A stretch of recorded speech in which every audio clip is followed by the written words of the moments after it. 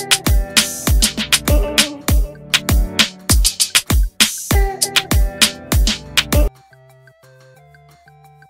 รธจริงเมียชาคริตทนไม่ไหวถามสามีทำเพื่อด่าเช้าด่าเย็นบ้านแทบแตกเมียเดือด แล้วทำซะใหญ่เมียชาคริตทนไม่ไหวถามสามีทำเพื่อด่าเช้าด่าเย็นบ้านแทบแตกโกรธจริงราวบันไดอิตาลี แค่สวนราคาเท่าบ้านหลังใหญ่ๆหนึ่งหลัง ขอยึดช่องสามีวันนี้ แอนพัทิราภรรยาชาคริตเผยคลิปล่าสุดทำบ้านซะใหญ่ เพื่อ ด่าเช้าด่าเย็นบ้านแทบแตกคลิปรีโนเวท EP 0.11 พาทัวร์บ้านที่สามีรีโนเวท ในมุมของแม่บ้างแอนถึงกับลั่นเราตามใจคุณมากไปแล้วนะ คุณชาคริต โดยพาไปดูตั้งแต่ประตูบ้านสามีจะมาถามเธอจะเอาแบบไหนทุกครั้งเมียจะบอกเอาแบบประหยัดประหยัดเข้าออกได้มีประตูรั้วอัตโนมัติเราขอแค่นี้ ถามว่าคิดว่ามันจะบานปลายขนาดนี้ไหม แอนตอบว่าไม่เลย renovate ของพ่อกับของแม่ไม่เหมือนกัน ฟ้ากับเหวพร้อมทั้งพาไปดูแต่ละจุดถามรัวๆทำเพื่อ ห้องหน้าประตูถามว่าทำทำไมไว้สำหรับวางบิลรับเช็ค แต่ไม่มีคนอยู่ทำเพื่อ อีกจุดข้างโรงรถทำเหมือน slider ทางโค้งเพื่อปาร์ตี้หมูกระทะเมียถามอีกแล้วเพื่อ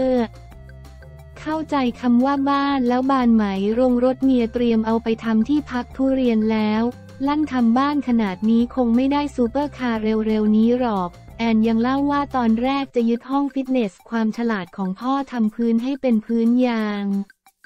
ทุเรียนวางไม่ได้มีอยู่อย่างหนึ่งใบเสนอราคามาเป็นลมโทรหาสามีชาคริตเธออยู่ไหน แล้วโทรเรียกเลยกลับมา ฉันมีเรื่องจะคุยด้วยเธอทำเสียงแบบนี้ฉันกลัว เราก็เข้าใจเขานะ เขาเป็นคนหาเงินเขาอยากได้สิ่งนี้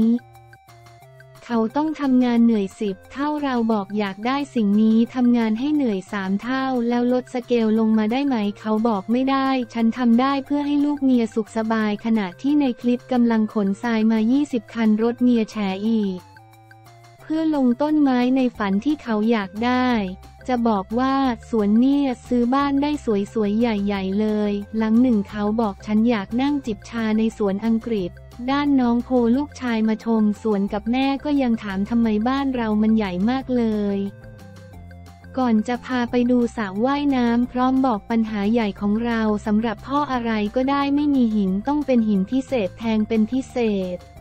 เขาจะบอกเผื่อเป็นที่ถ่ายทำให้เช่าส่วนตึกที่พ่อจะทำเป็นคลับเฮาส์ปาร์ตี้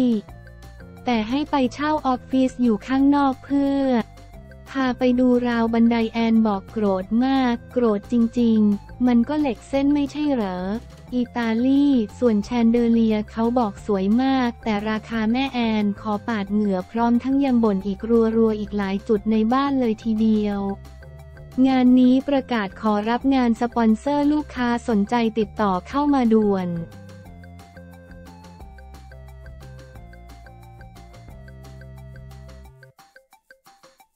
เหนียวแน่น โค้ชด่วนเผยสาเหตุตกสาวไทยพ่าญี่ปุ่น โค้ชด่วนดนายศรีวัชระเมธากุล หัวหน้าผู้ฝึกสอนวอลเลย์บอลหญิงทีมชาติไทยเผยถึงสาเหตุทีมตกสาวไทยพ่ายญี่ปุ่นในศึกเนชั่นลีกนัดล่าสุดทีมวอลเลย์บอลสาวไทยพ่าย ทีมชาติญี่ปุ่น0ถึง3เซต 18ถึง25 22-25 และ 20-25 ในการลงสนามนัดที่ 3 ของสัปดาห์ที่ 3 ในการแข่งขันวอลเลย์บอลเนชั่นลีก 2023 เมื่อวันที่ 1 กรกฎาคม 66 ที่อินดอร์สเตเดียมหัวหมากหลังจบการแข่งขันโค้ชด่วนดานายศรีวัชระเมธากุล หัวหน้าผู้ฝึกสอนทีมสาวไทยกล่าวว่าต้องยอมรับความเหนียวแน่นของทีมชาติญี่ปุ่น แถมทีมไทยยังมาเจอปัญหานักกีฬาบาดเจ็บถึงสองคนในเซตที่ 3ทำให้พ่ายแพ้ไปในที่สุด เกมวันนี้ต้องขอชมเชยทีมญี่ปุ่นในเรื่องของความเหนียวแน่น วันนี้เกมของเราถือว่ารับเสิร์ฟได้ดีขึ้น แล้วก็ทำเกมรุกได้ดี แต่สู้กับความเหนียวแน่นเราต้องยอมรับเราพยายามหลายครั้งก็ไม่ได้ รวมไปถึงเวลาเขาโต้กลับเราก็เสียเองอยู่บ่อยครั้ง เซตที่ 3 เรามีนักกีฬาที่ได้รับบาดเจ็บถึง2คน หลังจากนี้ก็ต้องพยายามในเรื่องของการฟื้นฟู เรื่องสภาพจิตใจเพื่อให้เขาต่อสู้ต่อ ฝากมาเป็นกำลังใจให้พวกเราพรุ่งนี้เป็นแมตช์สุดท้ายแล้วสำหรับ VNL ในบ้านเราพวกเราก็จะพยายามสู้อย่างเต็มที่ โค้ชด่วนกล่าว สำหรับโปรแกรมนัดต่อไปทีมสาวไทยจะลงสนามนัดสุดท้ายพบทีมชาติบราซิลในเวลา 20นาฬิกา30 นาที ที่อินดอร์สเตเดียมหัวหมากช่อง 7 HD ยิงสด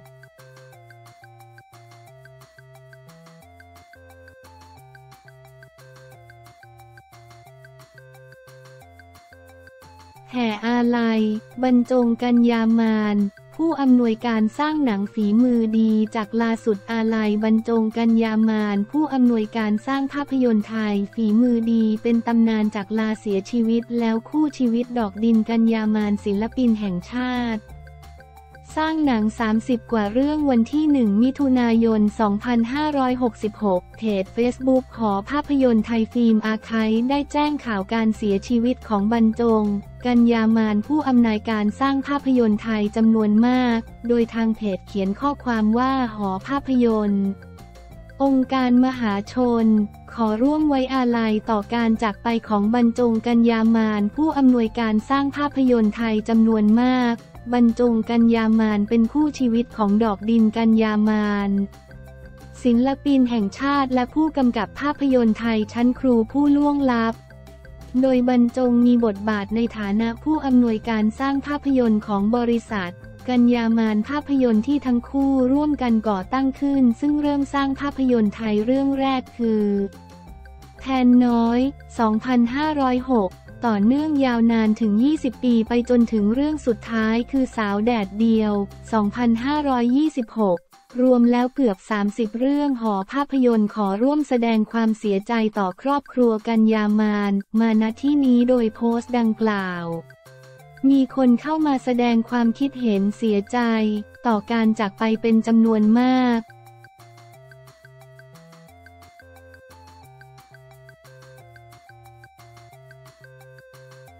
เซอร์ไพรส์พีทกันตพรขอแก้มบุ๋มแต่งงานสวมแหวนเพชรเม็ดโต จุดพลุยินดีเซอร์ไพรส์พีทกันตพรขอแก้มบุ๋มแต่งงานสวมแหวนเพชรเม็ดโต จุดพลุยินดีท่ามกลางกลุ่มเพื่อนที่มาร่วมเป็นสักขีพยานในครั้งนี้ ช่วงนี้หัวใจเป็นสีชมพูมองไปทางไหน มีแต่ความหวานสำหรับคู่ของนักแสดงสาวสวย แก้มบุ๋มปรียาดาที่กำลังคบหาดูใจกับแฟนหนุ่มพีทกันตพรหาญพาณิชย์เมื่อความหวานและความรักของทั้งคู่มาถึงจุดหนึ่ง งานนี้พีทกันตพรเลยทำเซอร์ไพรส์ขอสาวแก้มบุ๋มปรียาดาแต่งงานโดยงานนี้เรียกได้ว่าจัดใหญ่จัดเต็มสุดๆ เพราะมีทั้งจุดพลุและแหวนเพชรเม็ดใหญ่มาเป็นเครื่องการันตีความรัก งานนี้สาวแก้มบุ๋มปรียาดาได้ตอบตกลงพีท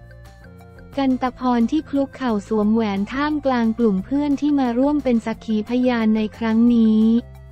สำหรับแก้มบุ๋มปรียาดามีผลงานมามากมาย ทั้งงานโฆษณาและงานละครที่ฝากผลงานไว้ ส่วนแฟนหนุ่มพีทกันตพรหานพาณิชย์ เป็นทายาทรุ่นที่สองของอาณาจักรบางกอกเชนฮอสปิทอลรู้จักในชื่อเครือโรงพยาบาลเกษมราช และยังรวมโรงพยาบาลเวิลด์เมดิคอลโรงพยาบาลการุญยเวชรวม 15 โรงพยาบาลโดยแก้มบุ๋มปรียาดาและพีทกันตพร รู้จักกันจากคำแนะนำของบีมาติกาเพื่อนดาราในวงการโดยหนุ่มพีทเป็นเพื่อนสมัยเรียนปริญญาโทของสาวบี และแก้มบุ๋มเป็นน้องในช่องเดียวกัน ที่มาภาพธีรพร